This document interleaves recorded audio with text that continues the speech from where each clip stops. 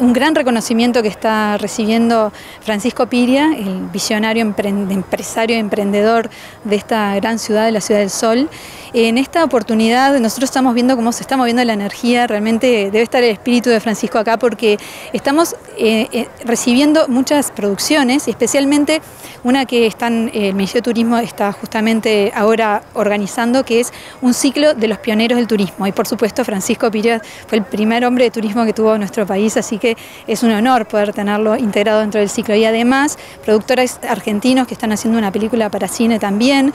O sea que nosotros haber hecho el evento es impresionante en el castillo, en su casa, y todas las cosas que se vienen, que bueno, hasta ahí las primicias, después vamos a, poder este, ampliar las noticias, pero realmente muy felices de que Piriápolis realmente se está iluminando cada día más, con más fuerza, especialmente con mucha magia.